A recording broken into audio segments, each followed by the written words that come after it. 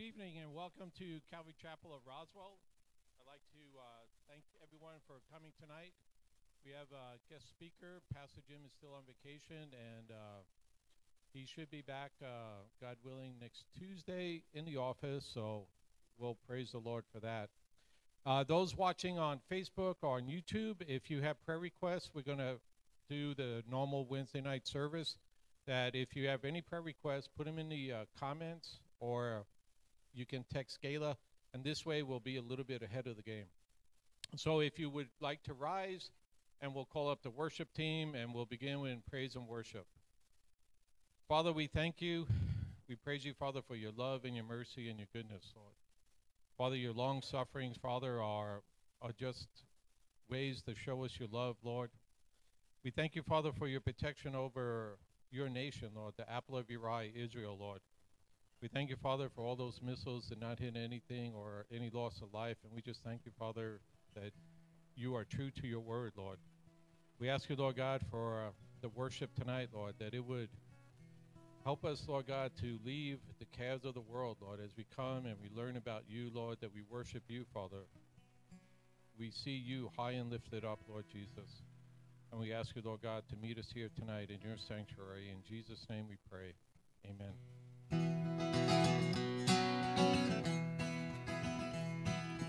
What a friend we have in Jesus. All our sins and griefs to bear. What a privilege to carry everything to God in prayer. Oh, what peace we often forfeit.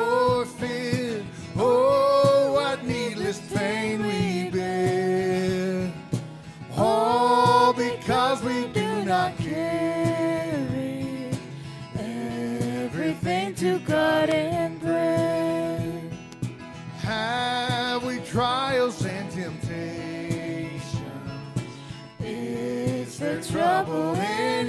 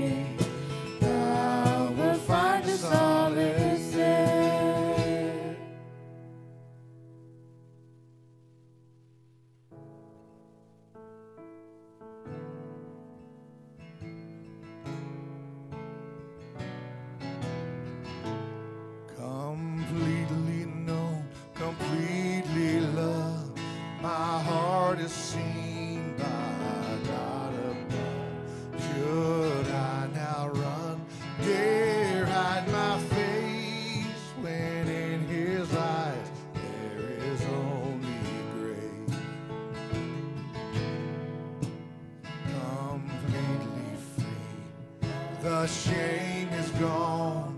The highest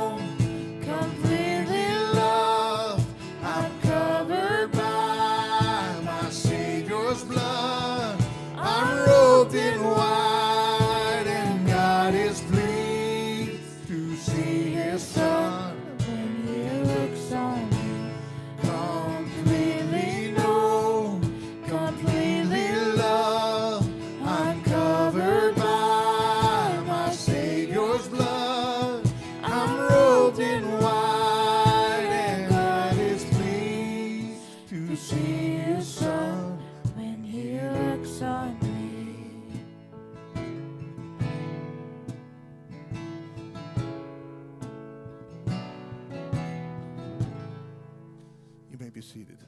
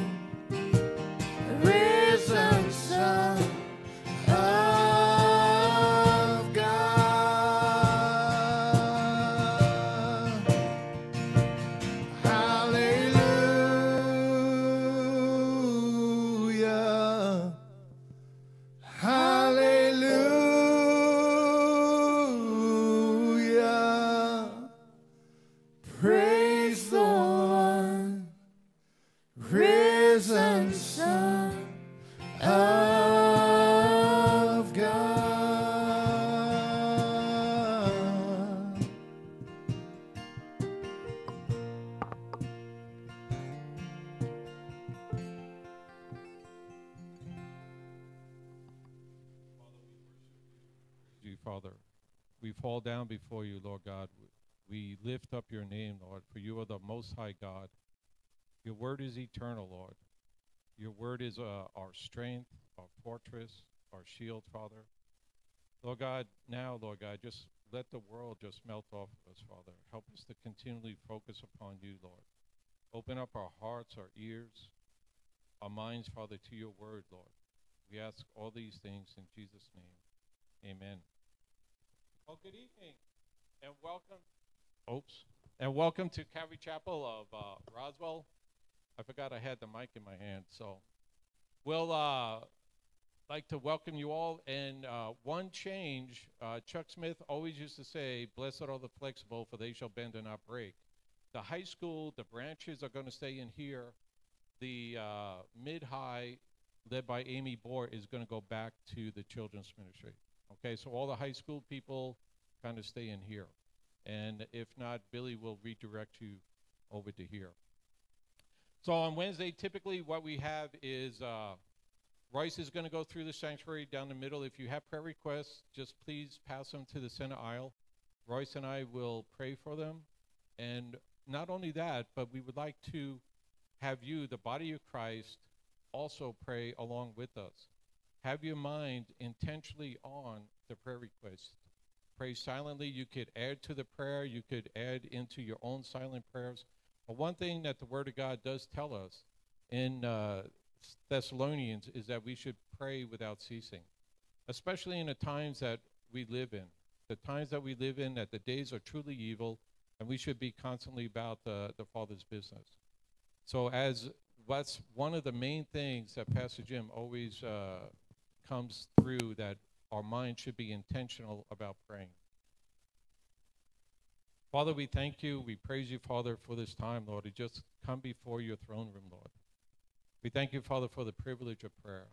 We thank you, Lord God, that we would come with our our needs, our wants, our desires. Father, we pray, Lord God, that it would be according to your word, Lord. We thank you, Father, for this time, Lord. We pray, Father, that through prayer, Lord God, that we can reach our Jerusalem, Judea, and into the outermost parts of the world here in the in the city of Roswell, Lord. We thank you, Father, for that, Lord, and we ask you that we would pray according to your will, Lord. Heavenly Father, we lift up our brother Jeff Capps and we join him in his prayer for his mom, Charlotte, for her safety at home alone, Lord. We pray that you would guide her and protect her as she's there, Lord. We also pray for his sister Jan as she uh, is taking care of uh, their mom. Father, we pray for patience. Father, give her patience and comfort her during that time as she takes care of her mom, Lord, and Jeff's mom. Father, we pray for uh, his niece-in-law, uh, niece-in-law Nicole, for recovery from cancer surgery, Lord. Father, we pray for Liberty Coding for safety for tra- uh, during travel and at work, Lord. Father, just be with um, be with Jeff as he uh, continues uh, to have opportunity to share the truth of your gospel with others, Lord. Father, we lift up this unnamed prayer request, Lord. We pray, Father, for the nation of Israel, Lord. Father, your nation, your people are the apple of your eye, Lord. We ask you, Father, for her protection, her guidance, of wisdom, Lord. We also pray, Father, for the marriages of our flock, Lord, and for the Christian marriages, Father, throughout the the city of Roswell and Travis County, Father. We pray, Father, that truly Christian marriages, Father, would be examples, Lord God, to the marriages in the world, Lord. That, Father, that there would be a, a distinctive between the two marriages, or that that the husband, Father, would love the wife, Lord, even as Christ loved loved the church, Lord, and died, Father, for it. We pray, Father, for the comfort of Wayne Clark, Lord, who is battling, battling stage four cancer, Lord. I pray, Father, your word says that you are the God of all comfort. And I pray, Father, that you would comfort him, Lord, that you would ease his pain, Lord. He knows you, Father, and I just pray, Lord God, for the salvation of his family, Lord. I pray that you would just touch him, Lord. We pray, Father, for your word to revive our lives, Lord, so that we could be witnesses, Lord, that we could be that sweet smelling aroma, those ambassadors of Christ Jesus in our families, in our city, in our state, our nation, and throughout the world, Lord. Father God, we lift up our sister Dita and we join her in prayer uh, as we pray for our church members who have been sick, Lord, and those who have had surgeries. Father, we pray for your rescue, for your healing, Lord. Father, that there would be a quick and complete recovery, Lord. We may that you uh, pray that you strengthen them each day, and that they would uh, understand and know that you're a God who loves them and cares for them and comforts them, Lord. Father, we pray for all who are lost. Father, we pray that their hearts would be softened. Father, that you would do that work that only you could do. Lord, by your mercy, would you cause them to believe, Lord, and that their life would be radically changed. Father, I pray along with uh, Frank, Lord, his consistent prayer, Father, for his two sons, Jason and Stephen, Lord. I pray, Father, Lord God, that you would just save Jason and save Stephen, Lord. That, Father, that you would bring back the scriptures, Lord God, that Frank has been sharing with them, Lord God, through through their lives, Lord. I pray, Father, that your word is alive and sharper than a two-edged sword. Father, that you would pierce their hearts, Lord, with your love, your mercy, and your grace. I also pray, Father, for Frank's uh, upcoming trip uh, to Uganda, Lord. I pray, Father, that you just work out all the details, Lord. That you just work out every single one, that you would start laying, Lord God, the, the foundation for that trip, Lord Jesus. Father, we lift up Nathan as he continues to ask for his walk with you, Lord. We pray, Father, that you would strengthen him, Lord, that you would guide him. Father, we know that we are weak and that you your strength is perfected in our weakness, Lord.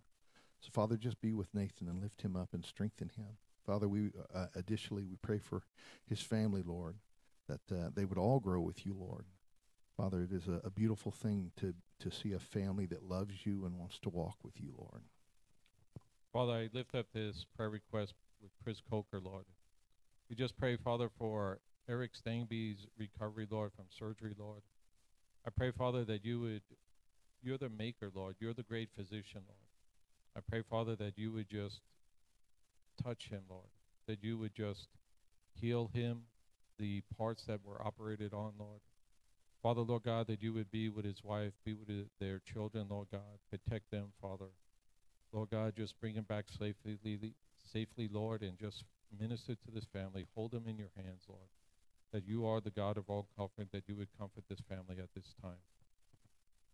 Father God, we lift in we lift Colin right now, Lord, and Father, we pray uh, with him as he asks you for his walk uh, with you, Lord, that uh, he would turn away from addiction, Lord, and that you would work in his life, Lord, a real work, a, a true work. And Lord, we know that you are the only one that changes us, and those changes are real uh, from the inside out, Lord. So, Father, we just agree and stand with Colin. We pray that you would would strengthen him, Lord, in his weakness. Father, that you would that you would deliver him as only you can, Lord, and we give you glory. Father, we lift up this prayer request by Sally Ann Stangby, Lord. She's just praising you, Lord God, for your your hand over the surgeon, all of the staff there, Lord, at the uh, operating room and, and throughout the hospital, Lord. We thank you, Father, that you've touched uh, Eric in such a way, Lord. We pray, Father, for strength for Sally's mom and Eric, Lord, that the surgery would just continually heal. And Father, Lord God, we also pray, Lord, for continual healing, Lord. Father, you are a good, good God, Lord. And Father, Lord God, we love you. We praise you, Father, and it's just amazing to see you at work, Lord. Father God, we uh, join Kevin and Kathy in their uh, fervent and consistent prayer, Lord, for uh, the salvation of their family, Lord, for their children to return to you, Lord.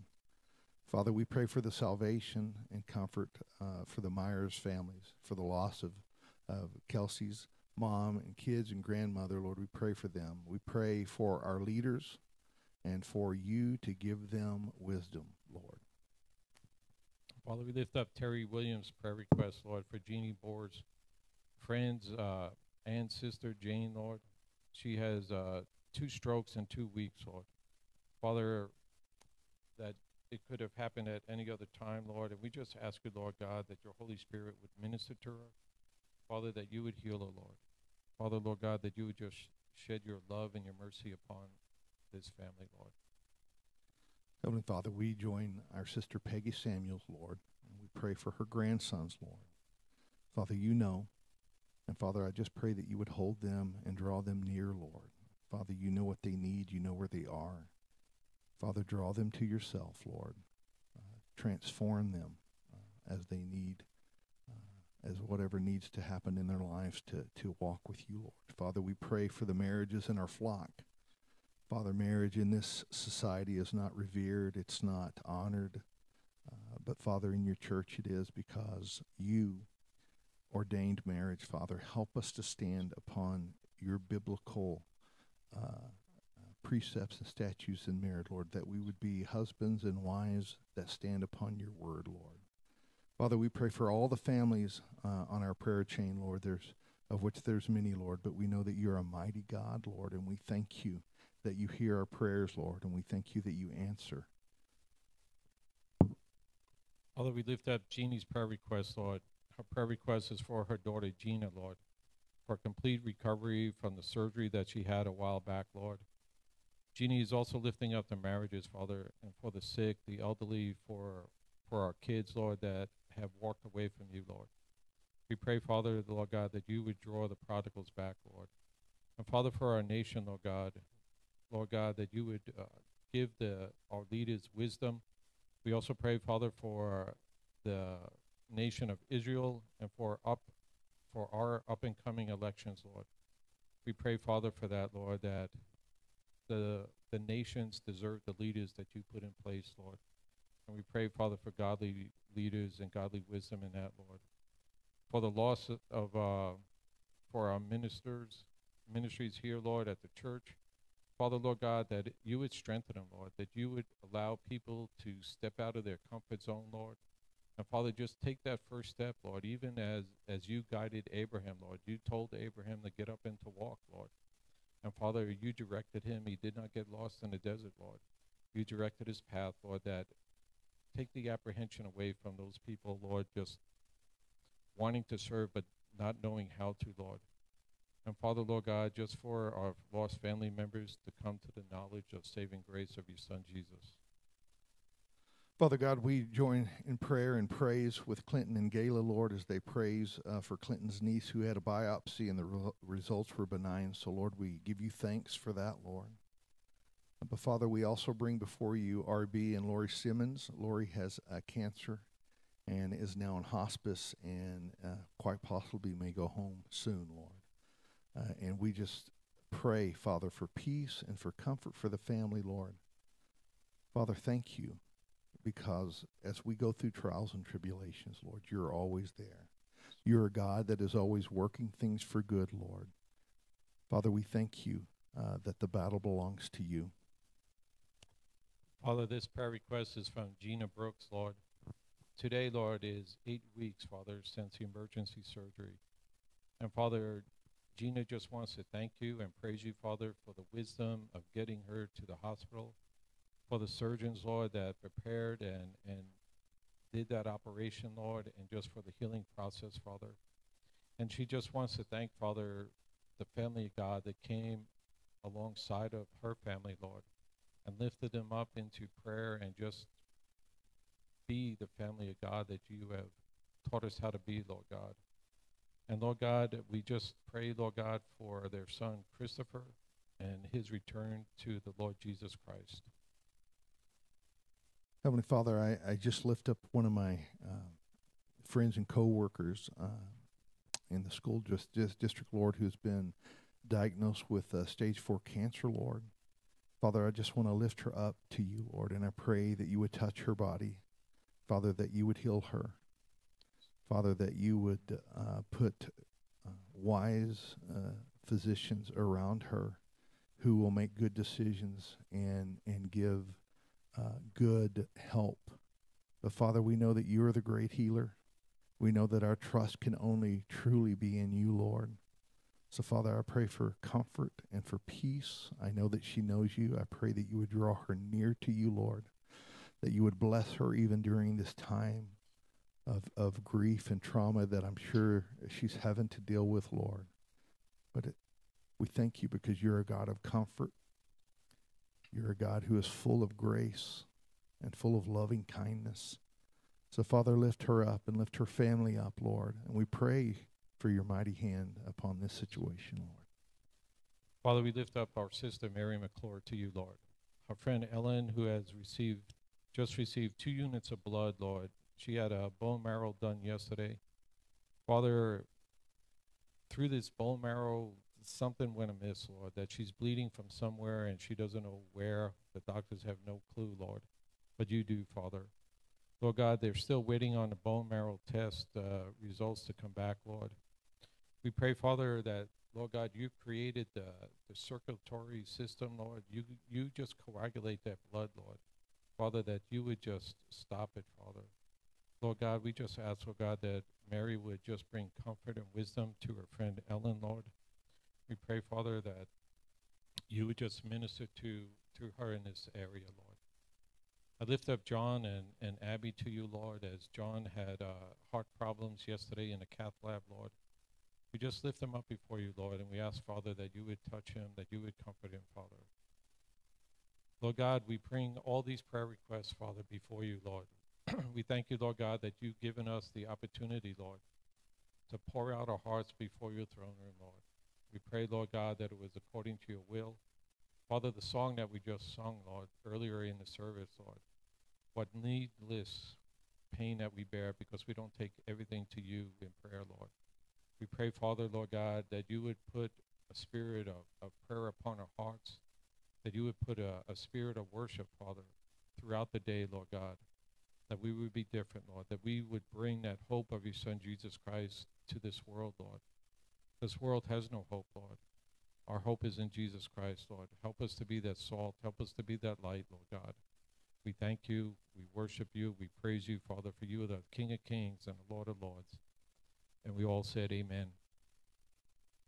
Well, tonight we'd like to, uh, Pastor Jim has been, uh, if you hadn't noticed, when he's been on vacation, there's been a, uh, he's been going through, especially on Wednesday night, a series of bringing missionaries, or not missionaries, but ministries that our the local church has been supporting throughout the years. We had the the uh, crisis pregnancy center, and we've had other uh, ministries that we have supported. And tonight, I'd like to welcome uh, Pastor Mark Green. He's from uh, Harvest Ministry, and the church has support, been supporting Harvest Ministries for quite some time now. So, Pastor Mark, if you would like to come up.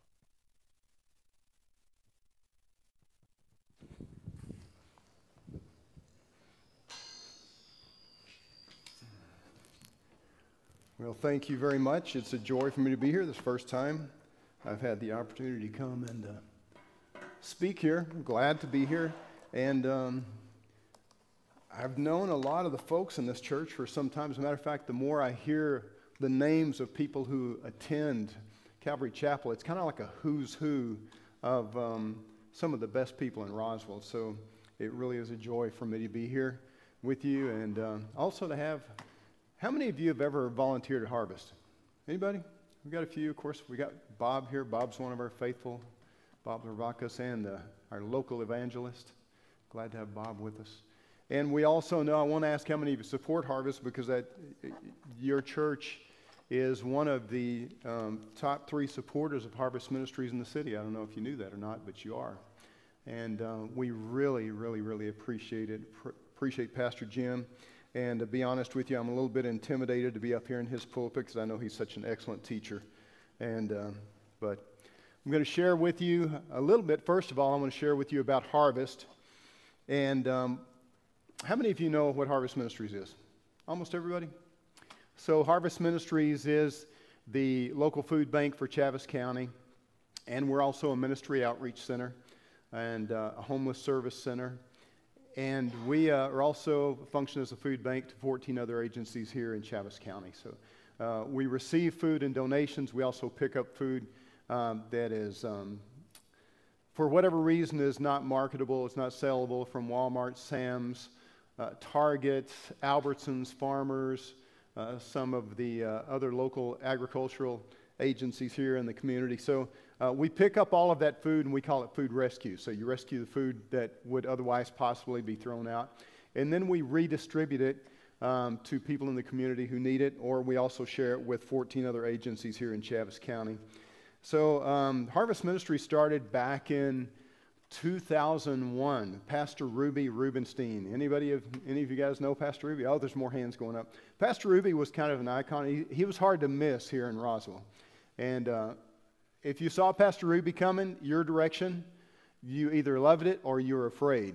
What is Ruby going to do? What is he going to say? But he was such, such a, he had such a heart, and such a passion. And Ruby and I had been friends for a long time. And um, so he, when he got ready to retire, he made a beeline for me. One time we were at Christ Church at a night to honor Israel. And um, I saw him from across the sanctuary, and uh, our eyes met, and he started heading my way, and I said, "Oh, he's he's coming here. He's got something to say." We had been friends for a long time, and uh, he came over and he said, "I'm about to retire from Harvest Ministries, and I believe you're the man to take my place." so we started talking about it, and we uh, we prayed about it. I prayed for a month, and uh, that's okay. I believe that that's what God has. A little bit of my history. Uh, I was very blessed and fortunate to be raised in a Christian home in a very, very Bible believing church. And and we just uh, were drilled in the in the Word of God all of my life growing up in Sunday school and kids church and Bible quiz and all sorts of things. And I lived just, uh, or our church was rather just a couple of blocks from uh, Southwestern Assemblies God Bible College. So a lot of the people in our church were actually former teachers or teachers, and they were a lot of my Sunday school teachers. So I kind of had the cream of the crop teaching me growing up. And uh, so I had, I was just very, very blessed to have that kind of an upbringing. And God called me into the ministry when I was 13 years old. I mean, I very, very definitely knew at that from that time on I was going to be in the ministry. But you know, when you're a young person, you're not really sure what you're going to do or where you're going to go. And uh, so I thought, well, I can be a minister and a rancher. I can be a minister and a veterinarian. I can be a minister and an architect. So I wasn't sure how that was going to play out. But when I was 15, I went on my first missions trip, and God called me to the mission field. And so I spent uh, several years on the mission field, uh, some in, in, Mexico first, then in Africa, in Costa Rica, uh, did some short term work in Nicaragua and Bolivia, in Israel, and uh, several years in Africa. And so uh, God just really, really blessed me in that ministry, called me at a young age, and I got to fulfill that. And so um, we, you know, the, the, time, time comes when there's a change in your life. And uh, my wife, Levon, and I were pastoring here. And, and um, here in Roswell, we've moved here uh, to work in a, a, a kind of a teen challenge ministry that didn't quite take off. And so then God opened the door for us to pastor, and we pastored for several years here. But there was a time when, and by the way, I'm always happy to have my wife with me. She's always my better half. And, uh, you know, they say behind every successful rancher, there's a wife who has a job in town. Well, behind every itinerant ministry missionary, there's a wife who has a real job. and uh, not that that's not a real job, but she's, she's running the uh, offices for the farm that uh, we, we live on, my family's farm. And so uh, it's always a joy to have her with me. Uh, I kind of force her to come with me. But anyway, we were, we were pastoring, and, and at the time I just felt God moving me. I felt Him changing directions, and I didn't know where, I didn't know what. I was in the church by myself, and I was just praying and saying, God, I, I really don't know what you want me to do right now. I, I just feel a shift. I'm just, there's an uneasiness in me, and I don't know what to do. And God said, Well, why don't you just sing that to me? And you know, and that I just really felt him say that. Why don't you just sing that to me? And so I thought, okay. So I went and sat down at the piano. I'm not a great piano player, but I sat down at the piano and just started playing a tune, and then I just started singing that to, to God. And I said, God, sometimes life is so confusing, and I don't know what you're doing. And I'm not sure how you want to use me, but deep in my heart, I hear your spirit calling. And I know in my heart that you are calling me. So there's a word in Hebrew that is throughout the scripture, and we see it several times Abraham, Isaac, Jesus, and others. And that, that Hebrew word is hineni. Say that with me hineni. Hineni means here am I. Here am I. So in that song, I just say, Here am I. Send me, Lord, I'm willing. Here am I. And whatever you want me to do, if it's just to give a cup of cold water to a thirsting man or to share the bread of heaven in a barren land, here am I. And so I wrote that song, and from time to time I'd still sing it. Didn't know what God had for me, but it was shortly after that that Pastor Ruby approached me and said, uh, I believe you're the man to take my place here at Harvest Ministries. And so, you know, having gone all these different places in the world, but here now at Harvest, I get to do exactly what God showed me in that song that He gave me, and that is to give food to people who are hungry and to give them, obviously, what I'm wanting to give them as the Word of God. And so God has just opened the doors for us to do that. So at Harvest Ministries, um, last year in 2023, we distributed 751,000 pounds of food to our clients and to 14, 14 other agencies. 22% of the people that we serve uh, were children last year, under 18. 24% were seniors, and the balance in between that. So, unduplicated here in Chaves County, we served 5,812 people just through Harvest Ministries, not counting the other 14 agencies and the people who were served through those agencies. So, just through Harvest Ministries, uh, that's over basically 10% of our population that were served through Harvest. Uh, total households served, everyone, everyone in the household served as many times as they came back undu- and duplicated, was 23,000. So, 23,416 people. And, and homeless visits, and of course, you've seen homelessness has increased here in the city a lot on every corner uh, through Main Street up and down Second and Main. And um, so we had 8,394 homeless visits to, to Harvest. And we served 13,030 breakfasts to the homeless uh, last year. So that's what we're doing. Of course, our goal always is to show them the love of God. For many of our people, it's a long term process, it's not a, a one time thing because uh, a lot of the people that come to us, in particular the homeless, uh, have drug problems, alcohol problems, mental health issues, emotional problems. And it's not just a come to the altar, give your heart to Jesus, get up and go on, and your life is fine. And one of the things that you can pray with us about also is uh, we're trying to hit that balance. We, we started last year in uh, March of last year what we call home church.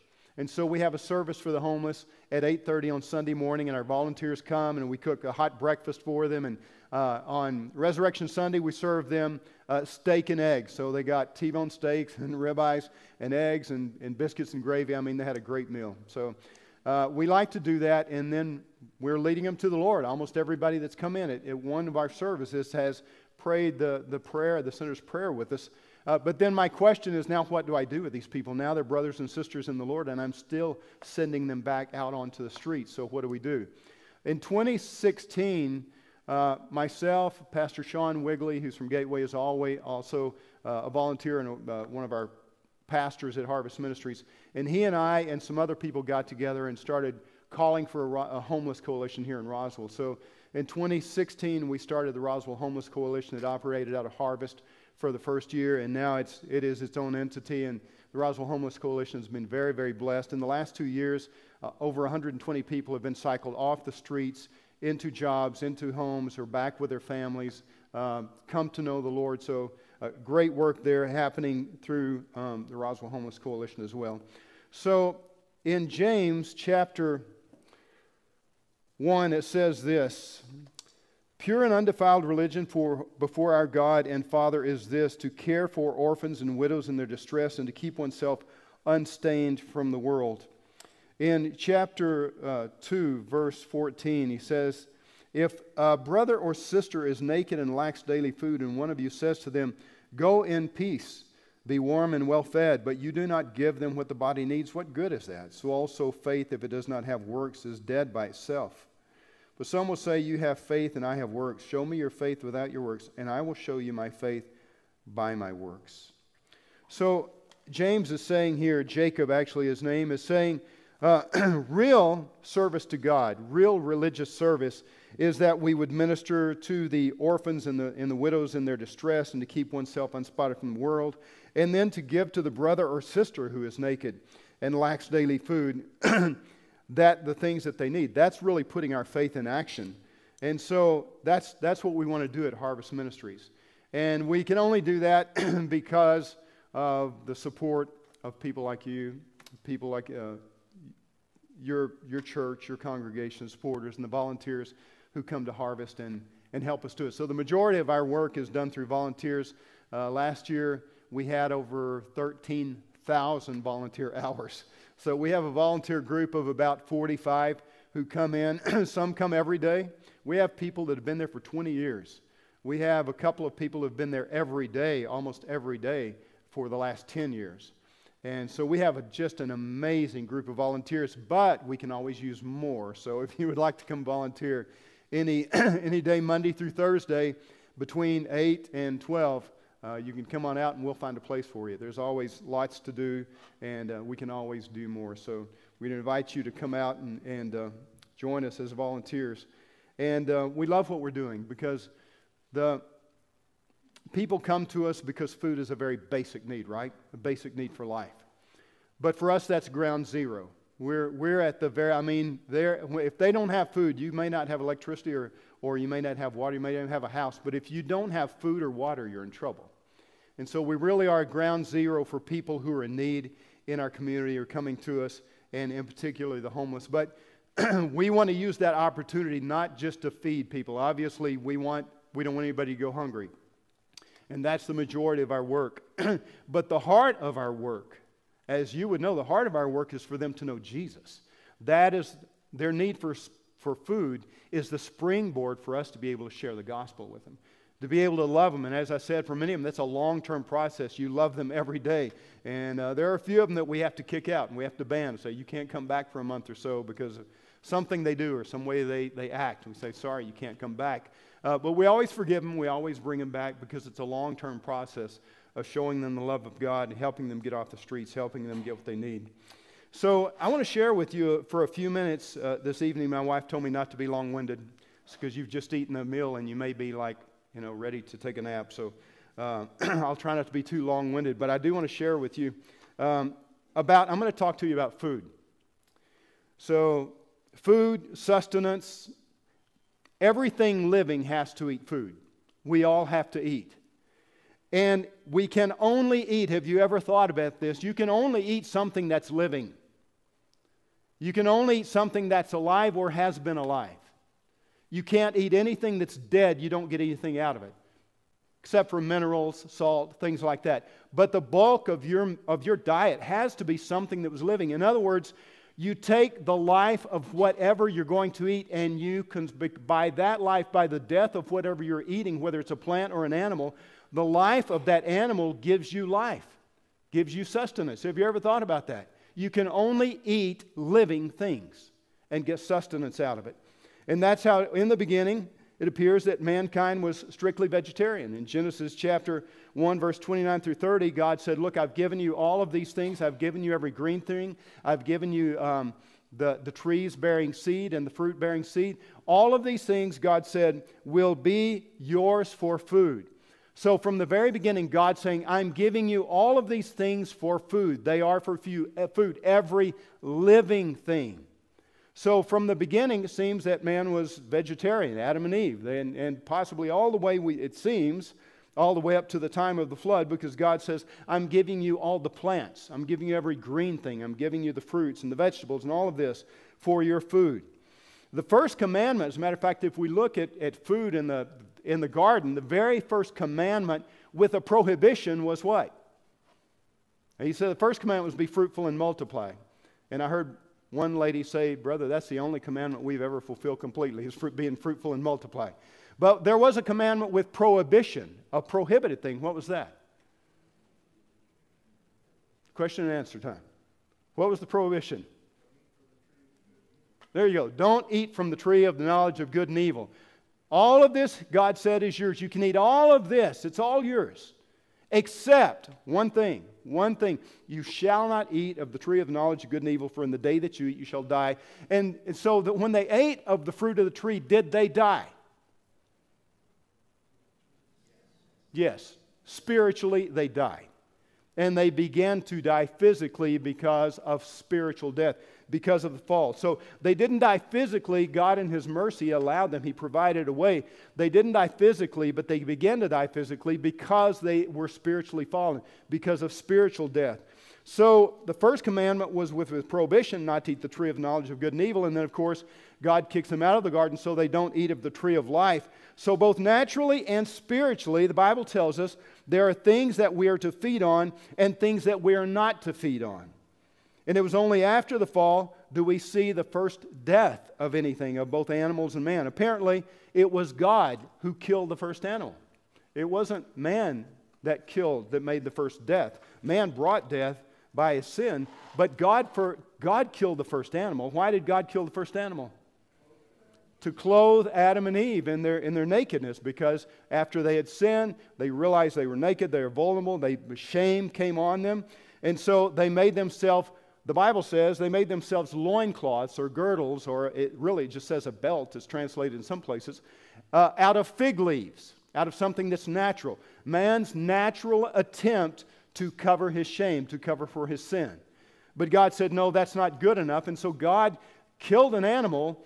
We only know that because God made their clothes out of skin, out of, out of hide, out of animal hide.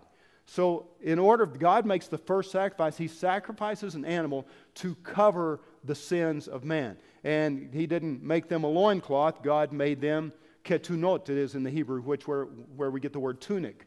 He made them tunics, He made them robes out of, um, out of skins. And so, note that man tries to cover, he tries to make atonement. That word atonement is the word to cover. Um, the Day of Atonement is called Anybody know what Day of Atonement is in Hebrew? Yom Kippur. Yeah, good. Thank you. Yom Kippur. So that word Kippur is the word for cover, and uh, it's the, the covering over the Ark of the Covenant was the kaparet, the, uh, the mercy seat, the covering for the Ark. Um, the little caps that Jewish men put on their heads are called kippas, and uh, that's where we get our word cap. So there you have some Hebrew English. We get our word cap from this ancient word kippur. And so man tries to cover his own sin, but he can't do it. It's not, it's, it won't work.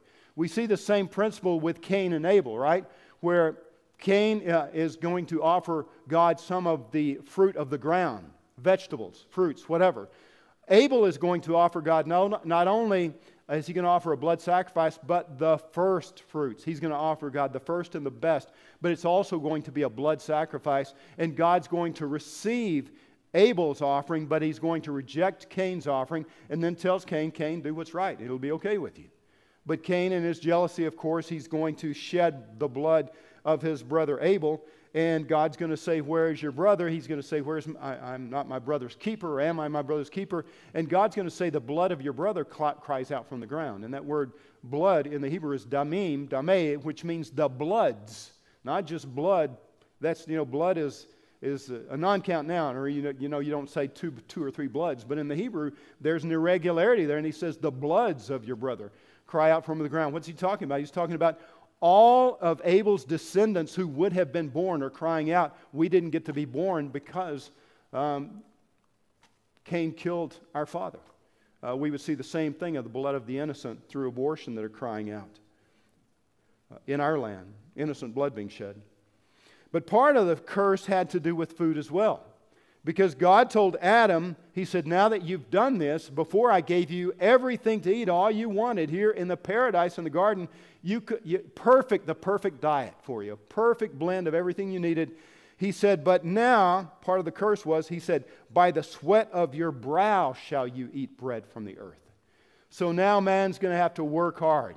He's going to have to struggle to, to, to grow crops that are going to produce. He said, and now it's going to produce weeds, and you're going to have to work hard to produce anything that you can eat. I heard that, the, that at one point Cain and Abel asked, Dad, tell us again what happened in the Garden of Eden. He said, Son, your mom ate us out of house and home.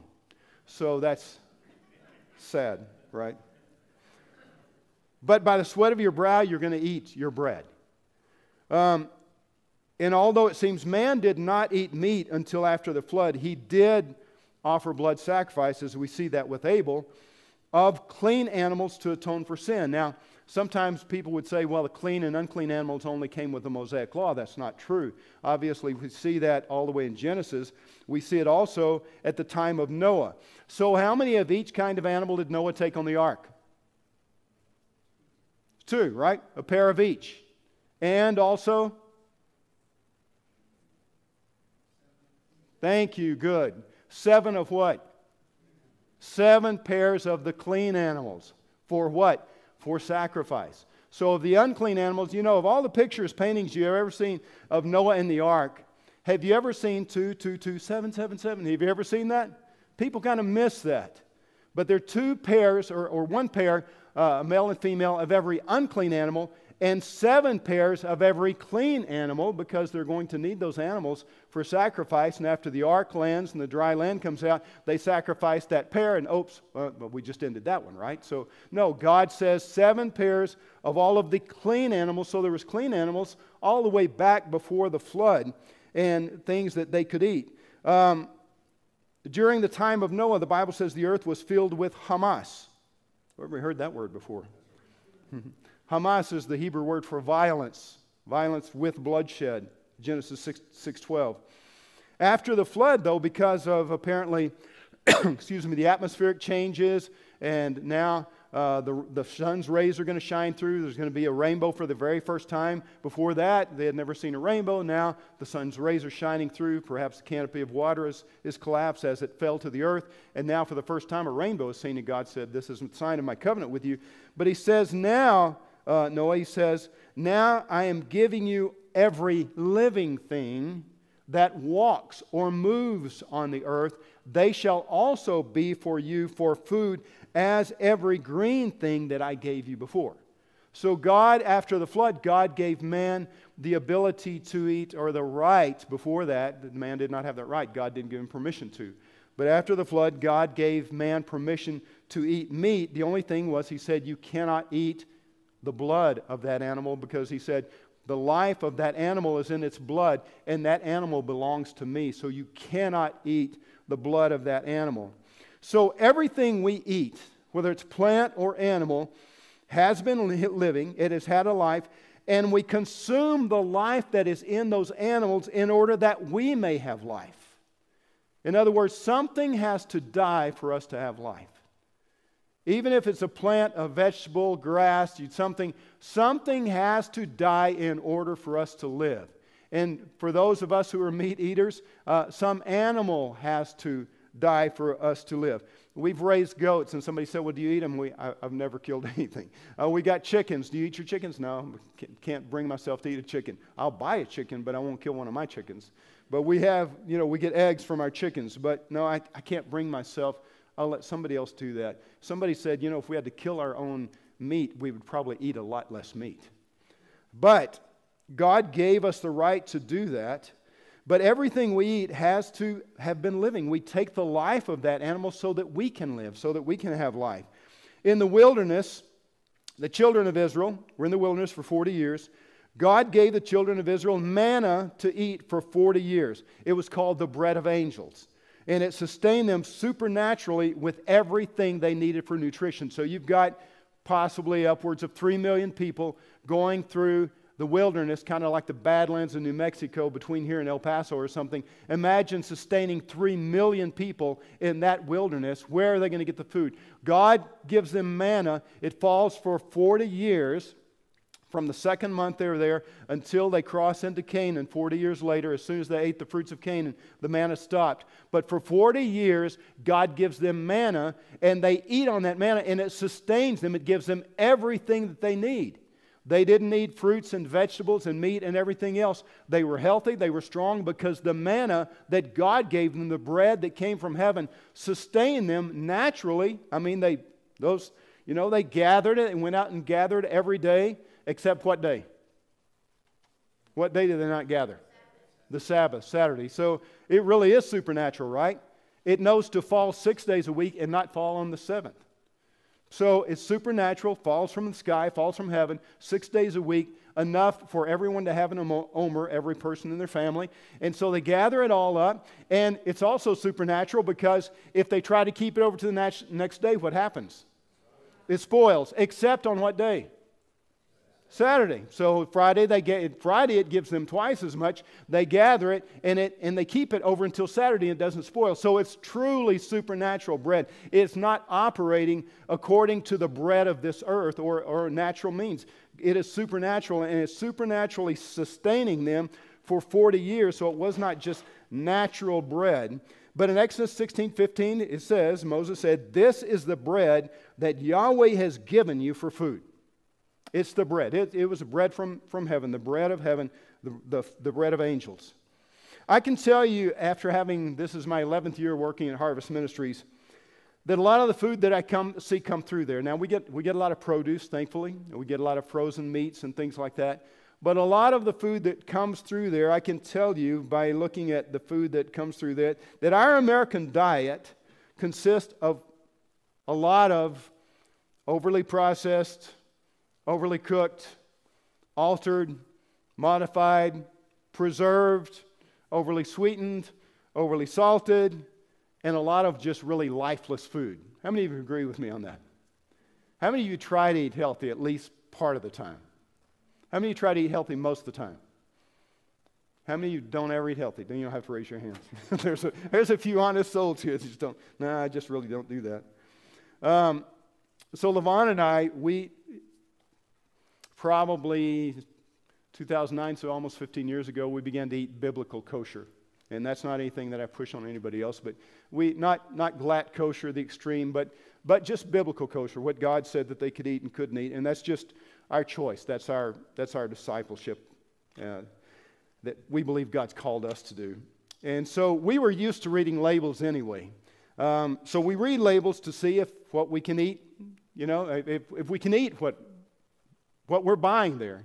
For example, we like, you know, if we buy beef sausage, we have to look first. Why do we look at it? All beef wrapped in pork casings. Well, we can't eat that. Uh, for us, that's just our discipleship, that's our choice. And so we're used to reading labels to see what's in it. And it's amazing that you pick something up and the la- list of ingredients is that long. It's like, I don't even know what all this stuff is. What am I putting in my body? I, I don't know, you know. And so we really try to try to we try to eat healthy.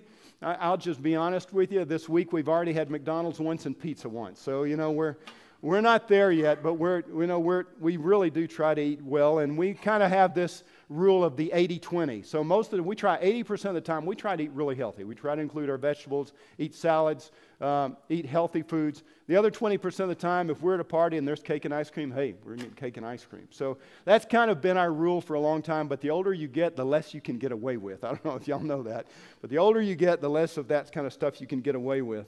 So I, I'm not telling you that we always try to do that, but uh, you know we're, we, you know the Scripture says that your life is not your. You were bought with a price, and, and it says your body is the temple of the Holy Spirit. So really, you and I are stewards of our bodies, right? And part of being a steward of that body is taking care of it, and part of taking care of it, care of it is is healthy eating. Now, God gave the children of Israel dietary laws. And he says, If you do all these things I'm commanding you, I'll put none of the sicknesses, diseases on you that I'm putting on the, that I've put on the people around you, because they do all of these things. And so uh, that for, for the children of Israel, God was separating. He was sanctifying. He was separating from everybody else. And their dietary law was part of it. The dress was part of it. And, and of course, their religious practices. That was all part of God separating, sanctifying, separating them from the nations around them, including uh, observing the Sabbath, to separate them from the others around them. But also, I believe it was part of them being healthy. Uh, because of the things that they would eat in that day. And God also gave them laws about how they were to cook. And, and, and if they got an insect, if they got a rat in their pot or in their food or something, they couldn't just throw it out. They had to throw the whole thing out. Uh, sometimes they had to break the pot it was in. I mean, God was very strict about none of their food being contaminated because God wanted his people to be healthy and set apart and to be a light and for everybody to look at him and say, What other people is like this people who has a God that's so wonderful, who's so close to him? So God was setting them apart. Well, you and I are, are we're temples of the Holy Spirit. We're stewards. And so God, I believe, wants part of that is us taking care of this, this body. But if we take this, of course, and what we want to do tonight, as I close here, take this into the spiritual realm. Spiritual food. So everything that the children of Israel could offer to God in sacrifice, they could eat. If they couldn't offer it to God, they couldn't eat it. All the animals that they could offer to God, they had to be the animals that uh, chewed a cud and um, had a split hoof. They couldn't eat anything that had paws or anything that had a split hoof but not chew, didn't chew the cud, like the camel or the, or the pig. They couldn't eat those. So anything that they could offer to God as a sacrifice, they could, they could eat. And that included their fruits and vegetables and grains and things that they would bring and the first fruits offerings and all of those. They could eat all of that, but if they couldn't offer it to God, they couldn't eat it themselves either because they were to be holy unto the Lord. And, and God was separating, He was sanctifying them. So there, you see here that there was both a natural and a spiritual law at work. All the way back to the manna, there was a natural and a spiritual law. Remember when the manna first fell? Uh, they didn't know what it was. They said, What is this? And they said, Ma, nah. Well, in Hebrew, ma means what? And na means like please or hey, hey, what is this? So they named it manna. The name of manna means what is it? I don't know. It just fell from heaven. And It says something that neither you nor your forefathers ever knew. You didn't know it. It was something new.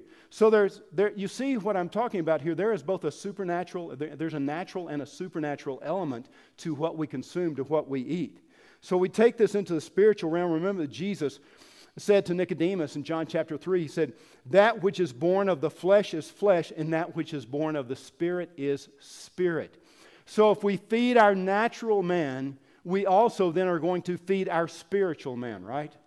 And as we're going to feed the natural man the things that we should feed the, this body, which is the temple of the Holy Spirit, in the same way as it is the temple of the Holy Spirit, we need to feed our spirit in the same way, uh, spiritually speaking. So, um, John 4:34, uh, Yeshua has just ministered to the Samaritan woman at the well, and the disciples come up and they offer him food, and Jesus said, No. He said, I have food to eat that you know nothing about. What does that sound like? Food that you don't know about. What is this? I don't know what this is. Jesus said, My food is to do the will of the one who sent me and to accomplish his work. That is what sustains me spiritually. Just like this natural food sustains you physically, what sustains me spiritually is to do the will of my Father and to finish the work that He sent me to do. That is my spiritual food. That's what keeps me going. In John 6:32, so in John uh, 4, John 6, and then later on, John later in the chapter in John, Jesus kind of he keeps talking about the same thing. In John chapter 32 and 35, uh, they had come up and said, Look, Moses gave us manna in the wilderness as a sign. What sign do you give us? And Jesus said, It wasn't Moses that gave you the manna in the wilderness. It was my Father, basically, is what he's saying. He said, But I am the bread who came down from heaven. I'm the living bread. In other words, Jesus was, it was like Jesus was the manna. That rock that followed them, that gave them water, it says, and that rock was Christ, right? So Jesus was sustaining them in the wilderness as the second person of the Godhead, a second person of the Trinity. But he said, it isn't Moses who's given you the bread from heaven, for the bread of God is the one. The bread of God is the person coming down from heaven and giving life to the world. And he says, I am the bread of life. Whoever comes to me will never be hungry, and whoever believes in me will never be thirsty. And then later on in verses 47 57, Jesus makes that distinction even between the manna and his salvation when he says, Look, your fathers ate the manna in the desert, yet they died. But I am the living bread that came down from heaven, and if anyone eats this bread, he will live forever. Now, Jesus says, Unless you eat my flesh and drink my blood, you have no part with me. And they left. They said, Yeah, we can't, we can't take that. That's, that's a hard saying. We can't deal with that. He turns to the disciples and say, Do you want to go too? And they said, What? Yeah, where else are we going to go? You alone have the words of eternal life the words of eternal life. He said, Your fathers ate the manna. He said, But I'm the living bread, and if anyone eats this bread, he will live forever. Now, next Monday, the 22nd, is Passover. And uh, you guys had, did y'all had a Passover Seder last year, I think, didn't you? Or the year before? You do one every year? Okay. So, yeah, next Monday is Passover, and, and it was at that Seder, that, that Passover Seder, that service, that Jesus entered into covenants with his disciples as they partook together. And if we look at in, in Luke, he gives the um, he gives the clearest um, recounting um, of that story. So Luke chapter 22.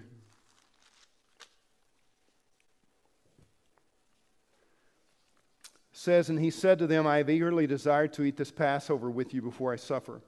For I tell you, I will never eat it again until it is fulfilled in the kingdom of God. And when he had taken a cup, he offered the bracha, the blessing.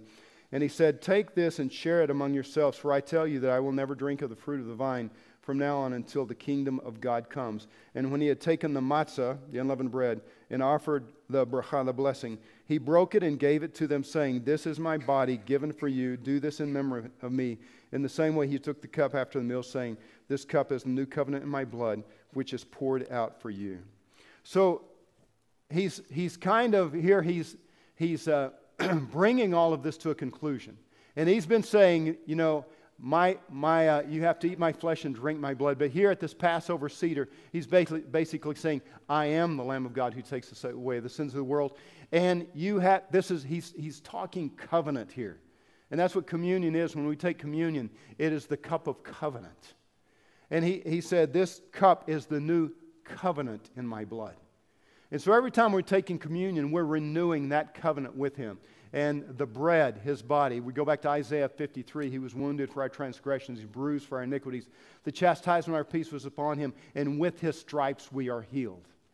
And so here at, at this Passover, Jesus is giving them finally the bread and the cup. And he says, I'm not going to do this again until I drink this cup in my Father's kingdom. You know, at, at uh, Shabbat every Friday night at our house, um, we, uh, when we break the bread, we thank God for it. And we say, Father, we thank you for this bread and everything that it reminds us of. Everything is symbolic of. We thank you, Father, uh, for your word, which is the bread of life. We thank you, Jesus, uh, for the, being the bread of heaven who came down for us, whose body was broken.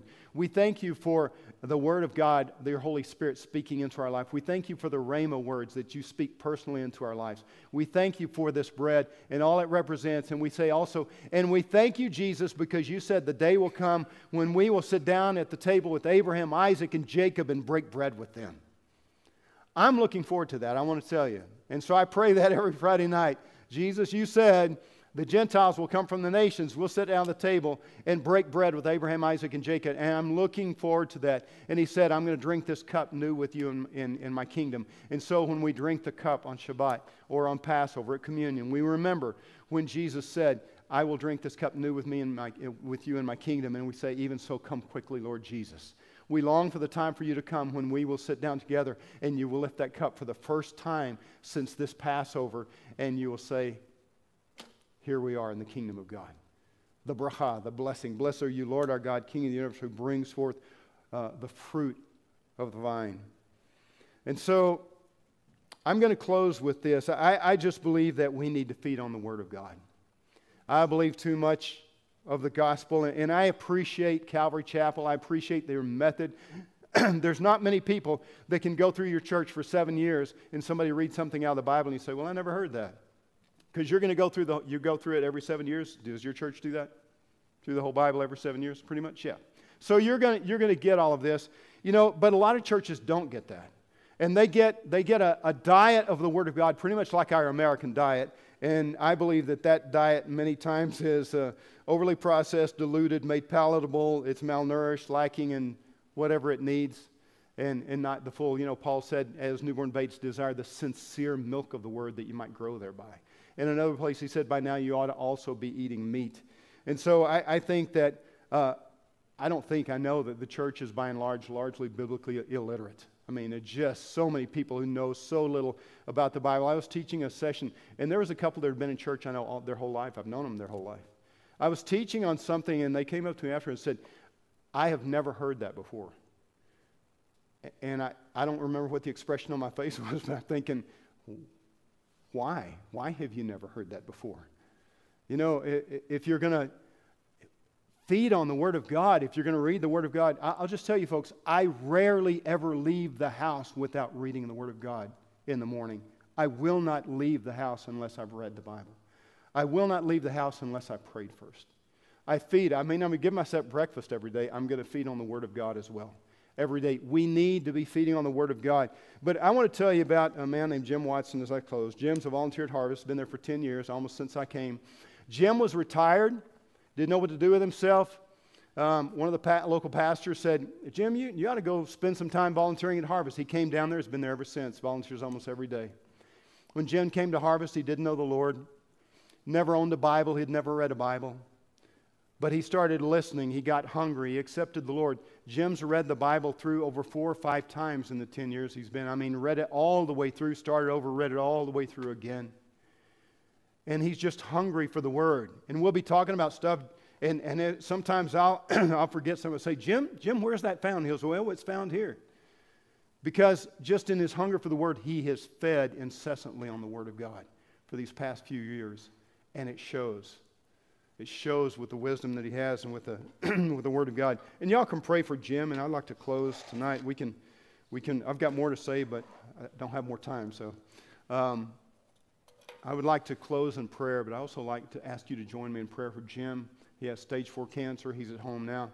First time he hasn't been at Harvest um, in 10 years, so uh, only because he has to stay home. So would you join me in prayer for Jim Watson as we close uh, tonight? Father, we love you, God, so much, and we thank you, Father, for your word, which is the bread of life. We thank you, Yeshua, Jesus, that you are the bread who came down from heaven, whose body was broken and bruised to give us life, and whose blood was shed so that we could have remission, forgiveness of sins.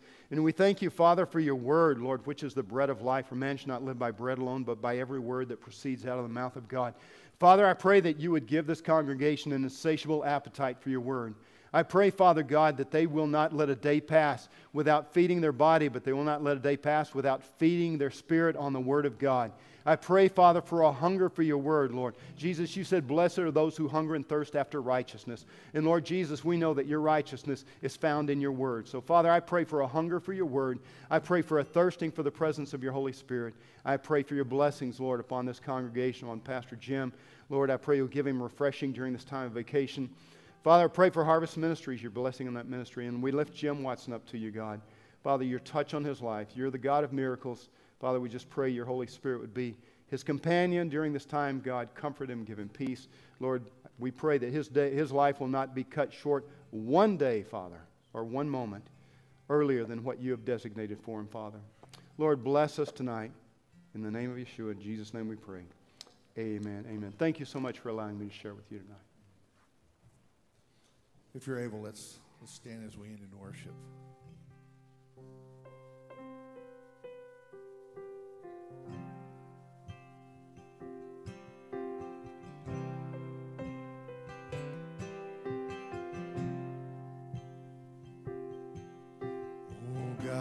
Before the mountains were brought forth,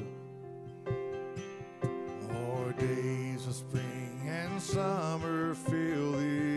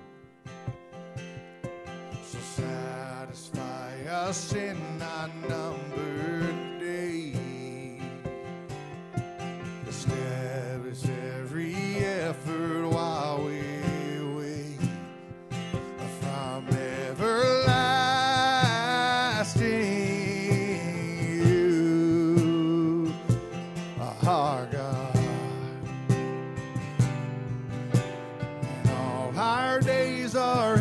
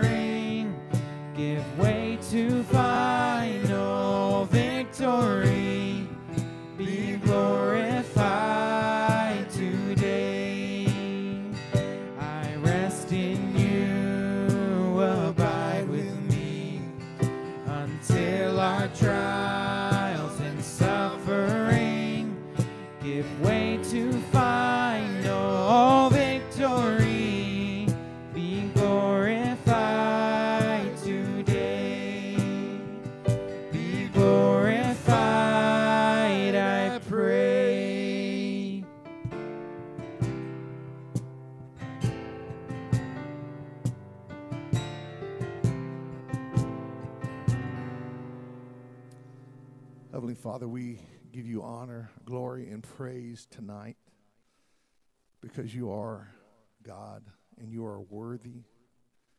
Father, as we go into this week, Lord, we pray, Father, help us to be salt and help us to be light. Help us to be bold in sharing the truth of your word, Lord. And we ask in Jesus' name, amen.